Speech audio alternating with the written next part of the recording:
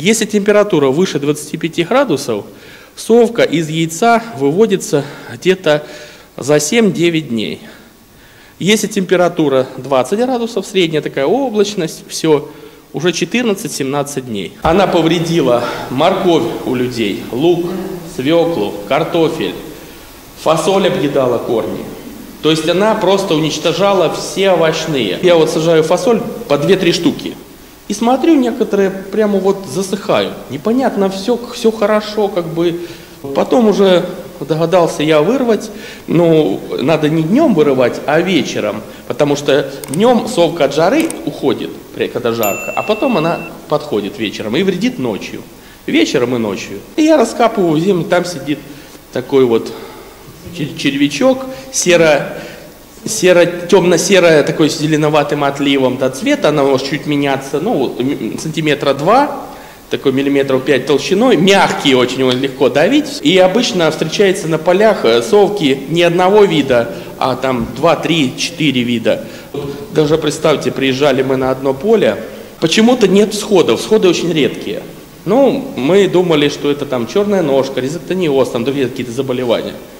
Потом стали раскапывать рядок, смотрим, все ростки, которые в почве еще белые, перекушены макушки.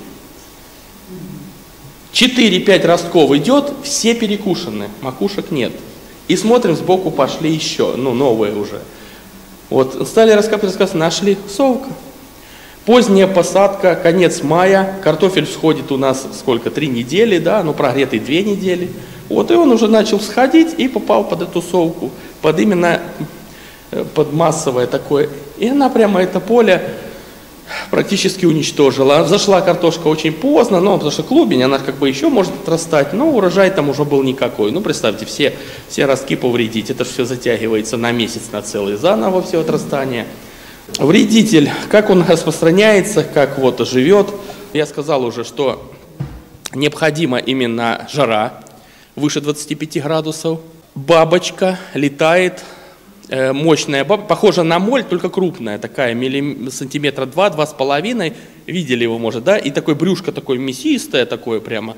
Вот летает эта бабочка, летает ночью, откладывает яйца на почву или на сорняки, или возле вот этих вот картофеля, в жару, э, если сильная жара, где-то уже через 7 дней э, вырождаются вот эти вот личинки, которые начинают повреждать растения. Дает 2-3 поколения за сезон.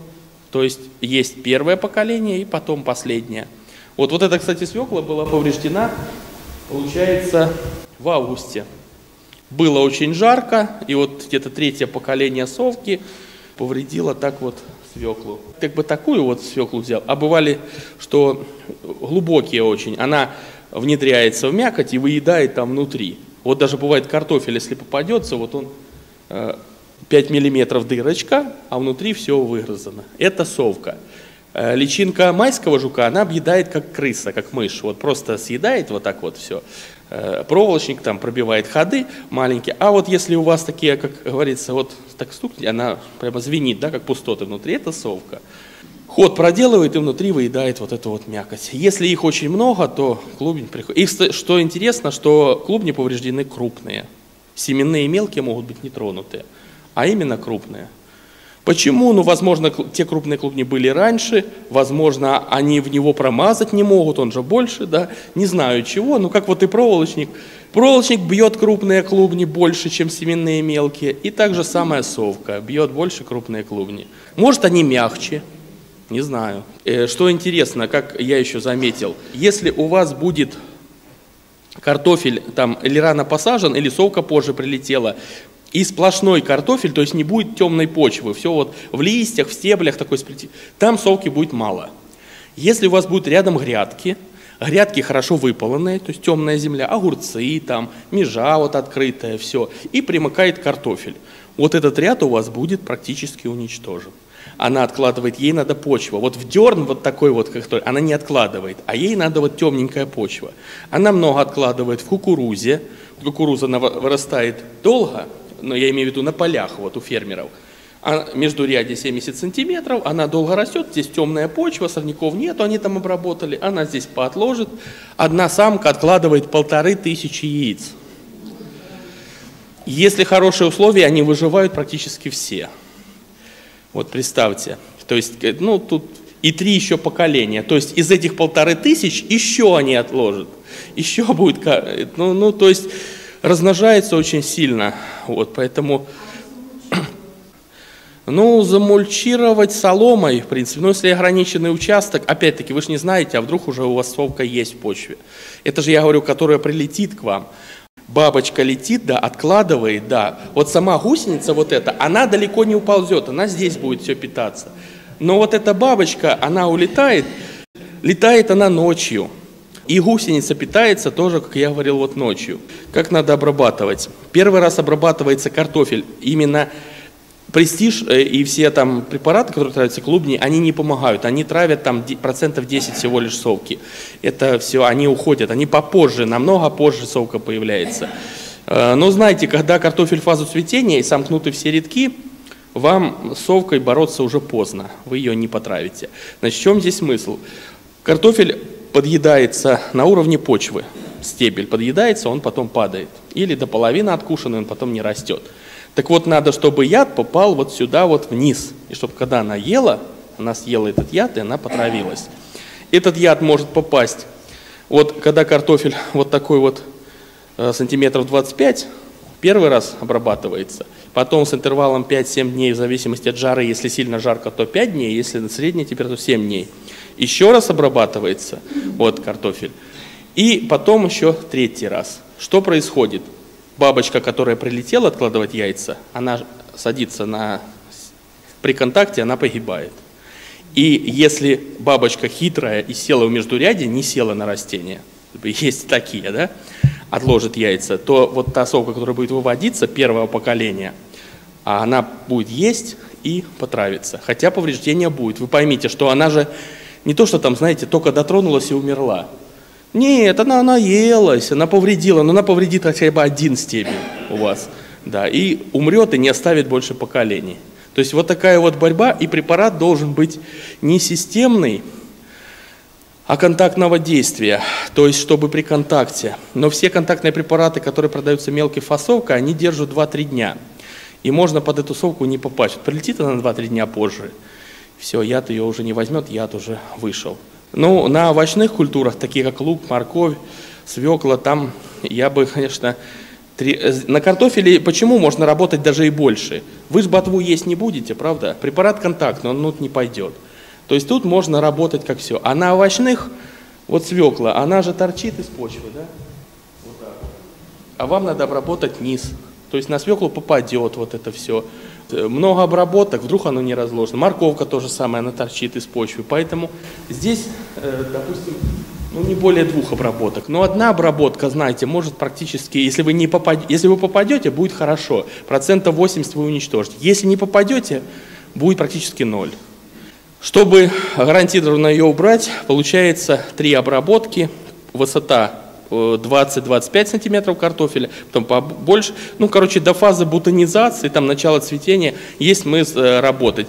Травиться э, должна ботва, идете по одному ряду, и вот так вот сверху или сбоку, чтобы попало на низ стебля, травиться.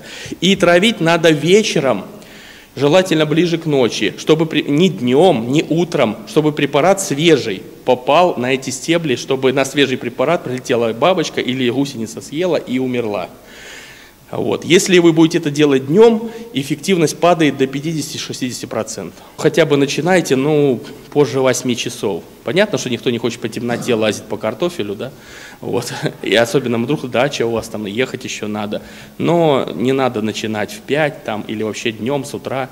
Это надо делать ближе к вечеру, чтобы свежий препарат был на растениях. Вот, кстати, в этом году мягкая зима, видите, зимы нету, да? Потому что в том году была мягкая зима, поэтому совки получилось много. В этом году еще мягче. Можете дома в подвал себе глянуть, совка зимует в подвалах на потолке. Если у вас на потолке сидят такие бабочки, Они иногда, если потолок темный, даже сливаются иногда, вот такие мощные мясистые. Соберите их в ведро или куда-то, вынесите на мороз, пускай они померзнут. А то они потом через воздуховоды еще как-то вылетят, и все это и дадут полторы тысячи штук.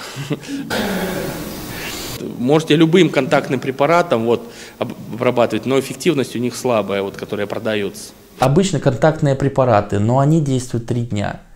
Ну, Таких пример, вот... например не знаю, или ну, какое действующее вот, вещество? Так, допустим, децис, вот карате, угу. вот препараты, что там продается мал, малой фасовкой.